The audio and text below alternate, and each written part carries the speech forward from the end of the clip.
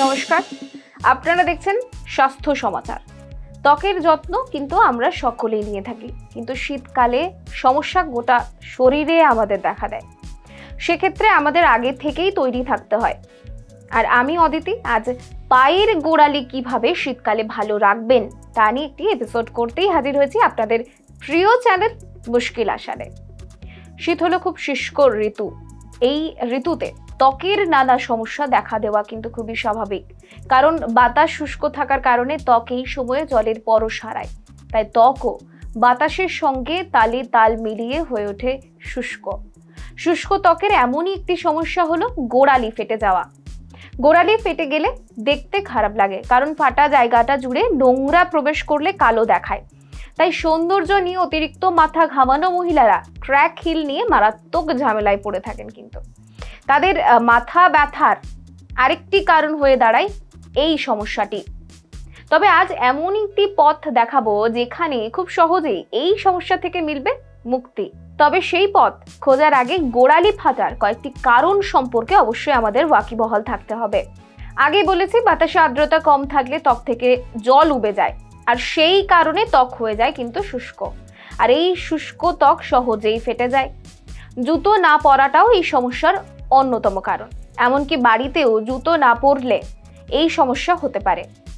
কম জল পান করলেও ত্বক ফেটে যেতে পারে। শীতে অনেকেই ঠান্ডার হাত থেকে বাঁচতে গরম জলে পা চুবিয়ে পরিষ্কার করেন। তবে জানলে অবাক হবেন, এই অভ্যেসটাও চলবে না।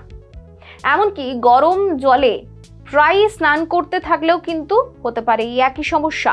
আবার প্রোটিন কম খেলেও এই সমস্যা দেখা দিতে পারে। ব্যাকটেরিয়া, ফাঙ্গাসের মতো ইনফেকশন হলেও দেখা দিতে পারে এই সমস্যা। কি কি সমস্যা হতে পারে? চলুন একটু দেখে নেওয়া যাক। বেশিরভাগ মানুষই কেবল ক্র্যাক হিলসের সঙ্গে সৌন্দর্যকে জড়িয়ে দেন। তবে এই ভাবনা একেবারেই কিন্তু ঠিক নয়। অনেক সময় গোড়ালির ফাটা জায়গা ব্যথা করে। সেখান থেকে রক্ত পুজো বের হতে থাকে। তাই এই রোগটি নিয়ে সব সময় কিন্তু হেলাফেলা করা একেবারেই উচিত নয়। সমস্যা সমাধানে মোম আমরা বাড়িতে যে মোম ব্যবহার করি, সেই মোম ব্যবহার করেই কমতে পারে এই সমস্যা। এক্ষেত্রে প্রথমে একটি পাত্রে মোম নিন, তারপর সেই পাত্রটিকে গরম করুন। গরম হলে মোম গলে যাবে। মোম গলে গেলে পাত্রটিকে আর গরম করতে কিন্তু যাবেন না। এবার এই গলা মোমে দুটি বড় চা চামচ সর্ষের তেল মিশিয়ে দিন। ভালো করে মেশান। মেশানো শেষ হলে ওই মিশ্রণটিকে ঠান্ডা হতে দিন। তারপর মিশ্রণ সহনযোগ্য অবস্থায় আসলে পায়ে লাগান। এভাবে কয়েকদিন লাগাতে থাকুন। সমস্যা কমতে বাধ্য। তাই চিন্তা করা ছাড়ুন। আজই এই পদ্ধতি ব্যবহার করা শুরু করে দিন। আর ঠিক এইভাবেই নিজের প্রতি নজর রাখুন। ভালো ও সুস্থ থাকাটা খুবই জরুরি। আর সঙ্গে অবশ্যই আমরা তো রইলামই। আমাদের পাশে পেতে কিছুই না, শুধুমাত্র চ্যানেলটি সাবস্ক্রাইব করতে হবে। আর ভালো লাগলে অবশ্যই লাইক ও শেয়ার করতে ভুলবেন না। ভালো থাকবেন।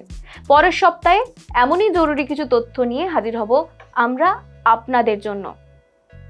নমস্কার।